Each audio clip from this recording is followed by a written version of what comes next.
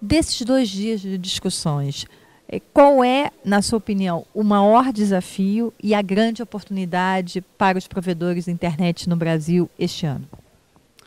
Quando a gente fala de provedores, fala, a gente até costuma estender um pouquinho esse termo de falar da cadeia de valor da internet. Né? Então, as empresas que fazem parte da cadeia de valor da internet, elas estão buscando cada vez mais reinventar os seus próprios negócios. Né?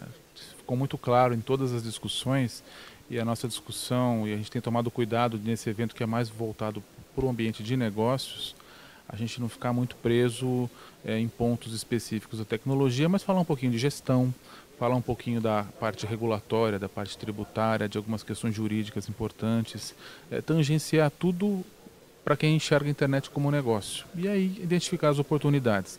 E o que se tem percebido é que cada vez mais o insumo principal dos sistemas é, de acesso à internet ou de serviços de internet, que é, é, são as redes de telecomunicações, tem se tornado cada vez mais uma commodity. Né? Então, é, existem é, diversos players nesse mercado, muitos é, provedores acabam se tornando operadores de telecomunicações locais, principalmente no interior do país, mas está muito claro para todos de que a grande receita da internet não está vindo mais desses serviços, e sim dos serviços de valor adicionado. Né? E aí, quando a gente fala de serviço de valor adicionado, é um outro mundo, quer dizer, é um mundo que exige inovação, exige investimento, exige um outro olhar sobre os serviços, quer dizer, muito mais tentando entender o sentido que isso faz para o usuário, quer dizer, para o cliente final, para o destinatário desses serviços.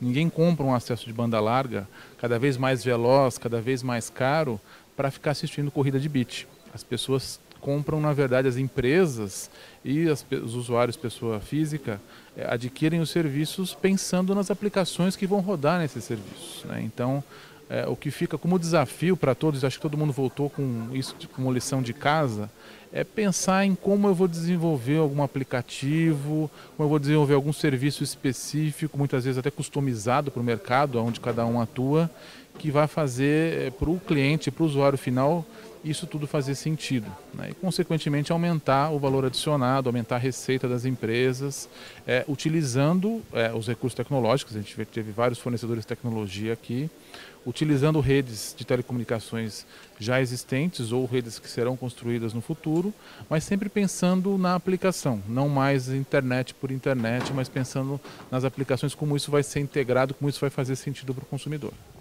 Agora, uma das questões que se colocou muito aqui hoje foi é que voz é um serviço que pode entrar no portfólio dos provedores de internet e, e é engraçado porque voz para as operadoras de telecomunicação cada vez mais vira commodity. Então, como é, como é, como é que vocês veem isso e como é que vocês enxergam a questão do plano de numeração, que foi outro debate grande aqui, com alguns provedores dizendo que hoje o plano de numeração já ficou irrelevante e com outros provedores dizendo não, é importante que o plano de numeração saia o quanto antes, como o ministro Paulo Bernardo está tá dizendo que vai tentar acelerar. Quando a gente comenta a, a questão da relação entre, da área de telecomunicações com a área de internet, que a gente gosta de separar isso porque são áreas que não se confundem, quer dizer, a internet usa as redes de telecomunicações como suporte para os seus serviços. E, evidentemente, que muitas empresas acabam atuando em ambas as áreas e, por isso, muitas vezes acaba havendo uma certa confusão. É, quem se é, aplica mais a aplicações na rede de telecomunicações, evidentemente que tem aquela visão de telecomunicações de, poxa, eu preciso ter as mesmas condições que os outros players da área de telecomunicações têm, como o caso das empresas que têm a licença de STFC e têm um plano de numeração. Então, desde o começo da, da, da introdução do serviço de comunicação multimídia, tem sido um pleito das empresas que têm essa licença o plano de numeração para estar tá concorrendo nesse mercado. Então isso varia muito de região para região. Regiões onde não existe muita competição entre empresas de telecomunicações, até faz sentido essa abordagem. Mas regiões onde o mercado já está um pouco mais desenvolvido, aí é uma pausa para refletir. Quer dizer, é, nós estamos no mundo internet, que é um mundo que, se a gente olhar a perspectiva futura, é um mundo onde o desenvolvimento de novos negócios vai ocorrer com muito mais intensidade é onde a, a, os empreendimentos são muito mais lucrativos e as próprias operadoras, as grandes operadoras de telecomunicações já enxergaram isso e elas buscam é, adicionar ao seu portfólio aplicações de valor adicionado, porque elas veem que a rentabilidade grande está ali com pouco investimento.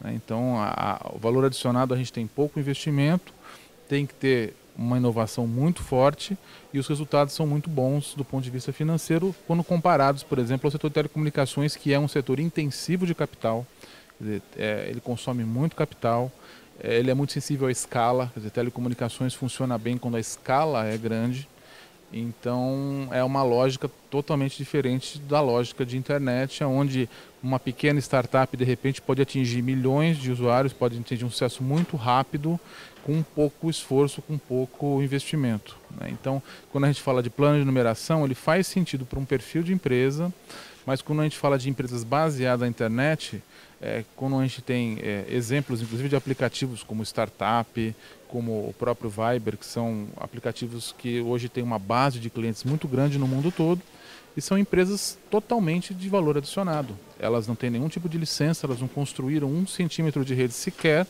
e estão desbancando serviços de operadoras convencionais. Né? Então, se a gente é mundo internet, a gente tem também que parar um pouquinho de pensar com aquela cabeça de é, telefonia convencional né? e falar, bom, será que se eu pedir aquele plano de numeração seguindo lá o modelo do Grambel, será que isso faz sentido para mim se eu estou no mundo internet?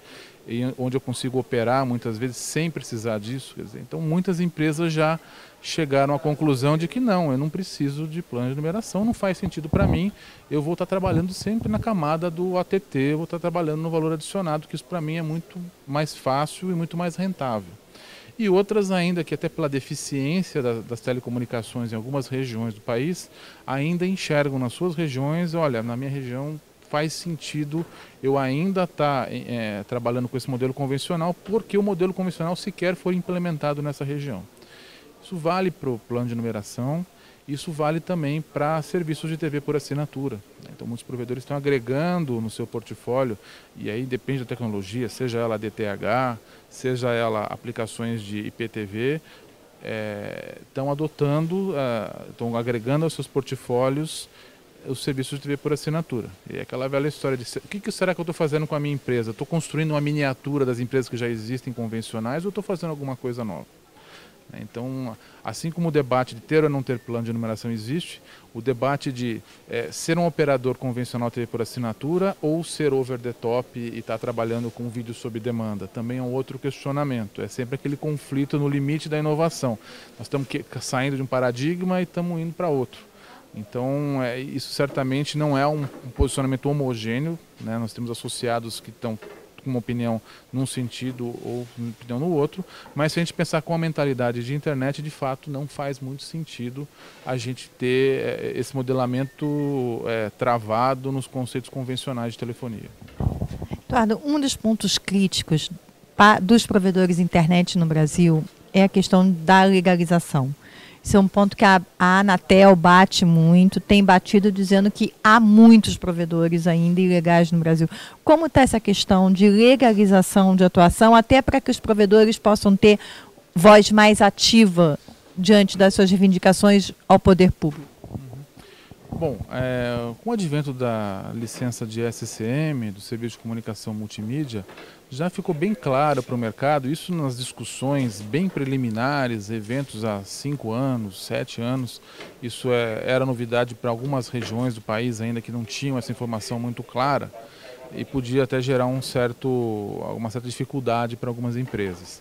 Mas a gente tem percebido nos últimos anos que as empresas têm se profissionalizado, têm atuado é, seguindo a, a regulamentação e o que a gente percebe ainda que existem alguns pontos conflituosos não é nem a falta de legalização das empresas, mas muitas vezes quando a gente trabalha com empresas que, que estão na fronteira da inovação tecnológica, muitas vezes elas desenvolvem alguns serviços que são de difícil classificação. Então, até que ponto eu estou prestando um serviço de telecomunicações e até que ponto eu estou usando um serviço de outros. Né?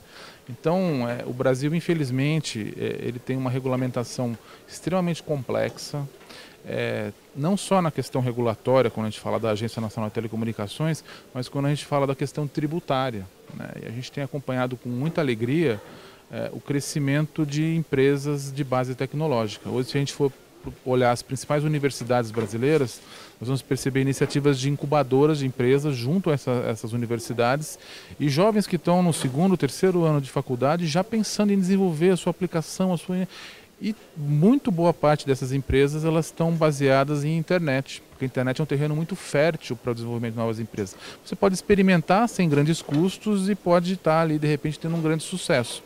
E a gente vê aplicativos brasileiros fazendo sucesso no mundo todo. Eu tive recentemente em Hanover, na Cebit, e estava vendo a apresentação lá num stand de um aplicativo muito interessante, por exemplo, para chamar táxi usando smartphone, e eu me assustei que aquele aplicativo era de uma empresa brasileira né, de uma empresa startup de base tecnológica que teve sucesso mundial com esse aplicativo. E a gente vê, por um lado, essa movimentação muito fértil de desenvolvimento de novas empresas nessa cadeia de valor da internet. E, por outro lado, muitos desses jovens, quando a gente senta com eles e fala assim: então, e você sabe como é que vai operacionalizar isso? Você sabe que você tem tributos, tem uma regulação assim, assado. Aquele plano de negócio estava muito redondo quando a gente começa a introduzir uma tributação, quando a gente começa a introduzir a complexidade de algumas é, licenças que são solicitadas, acaba muitas vezes até desanimando um pouco é, essas empresas. Quando a gente fala de cloud computing, por exemplo, a coisa fica mais complicada ainda, porque a gente tem um servidor em nuvem que pode estar em um país, pode estar em outro. Então, o que, que é serviço, o que, que é software, o que, que é telecomunicações, isso acaba se misturando e às vezes é até difícil é, do próprio agente público que cuida da tributação, por exemplo, pegar lá o código tributário que é dos anos 40 e encaixar aquilo dentro da regulamentação que já existe, mas fazer uma classificação precisa disso. Né? Então, é, é, é, um dos problemas que vem com a inovação, conseguir classificar esses novos serviços é, dentro da regulação que já existe. Agora, com a, a, o, o, quesito a, acesso à internet, as aplicações mais convencionais de internet, isso já está bastante consolidado. Talvez as empresas muito pequenas no interior do país, a gente teve há dois anos em Alagoas, fazendo um evento em Maceió, para provedores e a gente surpreendeu que boa parte do público que estava lá era um público de lan houses. Né? Então os proprietários de lan house começaram a perceber que os seus clientes começavam a ter receita para poder comprar os seus próprios dispositivos, seja um smartphone, seja um notebook com financiamento, e não estavam mais indo para as lan houses. Então eles pensaram, poxa, eu vou virar um provedor de acesso, eu vou botar uma infraestrutura wireless aqui e vou começar a atender a minha região mas não tenham acesso à informação, a todos os requisitos de licença e tudo mais. Inclusive nessa região, o Sebrae fez um trabalho em conjunto com essas empresas para auxiliá-las na obtenção da licença é, e até muitas vezes coisas básicas de se legalizar. Muitas dessas lan houses sequer tinham CNPJ. Né? Então eu até me lembro que nós tivemos um evento depois de uma exaustiva explicação sobre os detalhes da licença. Teve um dos participantes do evento que perguntou: escuta, e para tirar essa licença eu preciso ter CNPJ? Quer dizer, eles estavam num nível de, de, de, falta de regularização, de informalidade muito grande por conta das dificuldades da região. Né? Mas isso já está sendo superado há muito tempo. E essas empresas que estão trabalhando, que são na verdade pequenos operadores de telecomunicações nas suas, nas suas regiões, é, já têm obtido essas licenças e trabalhado dentro da, da, da legalidade no quesito regulatório. A nossa preocupação maior é em relação à fronteira tecnológica, o desenvolvimento de novos negócios aqui e isso ter algum impacto nas questões regulatórias e tributárias. Lembrando que quando a gente fala de internet, a gente está falando de mundo. Então, se a, a, a, regulação aqui for muito complicada, se a tributação aqui for muito alta, muito complexo, é muito simples para essas empresas armazenarem isso em outro país. Os servidores podem estar em outro lugar e a empresa sequer precisa ter CNPJ aqui. Né? Então, a gente é, viu um caso ou outro que é, a empresa ficou um pouco receosa, até pela falta de regulação, e aí nós entramos em outro assunto que é o marco regulatório, mas a falta de segurança jurídica fez com que muitas empresas simplesmente hospedassem suas aplicações fora do país. E para o usuário aqui do país é transparente, porque pela internet você não tem uma distinção de uma aplicação na nuvem aonde exatamente ela está rodando. Então é importante também que o, o legislador e quem define as políticas públicas tenha isso em mente. Um ambiente muito hostil nesse setor faz com que, na velocidade de um clique, essas aplicações migrem de um país para outro.